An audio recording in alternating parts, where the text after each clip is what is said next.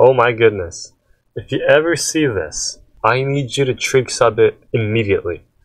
Okay? Let x equal tangent theta. And now what we have is pi over 2, pi over 4. Okay?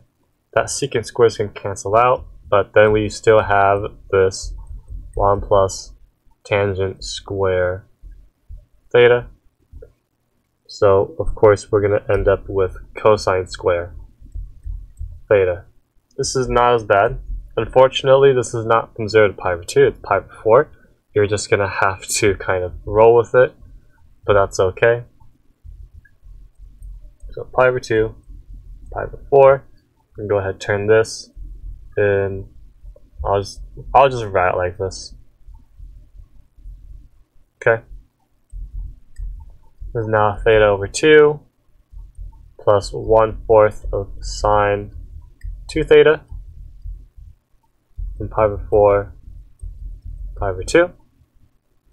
Okay, plug in pi over 2, we get pi over 4. Okay, pi over 2 here is going to give us 0. Pi over 4, so pi, that's going to be pi over 8.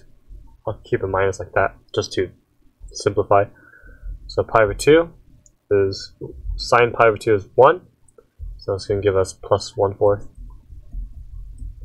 So it seems that our answer is going to pi, uh, is going to be pi over 8 minus 1 fourth. Okay, and that is it. So, if you ever see something like 3 halves or a cube, you know, or this, x equals tangent theta, do that immediately, and then uh, work your way out. Alright? Cool.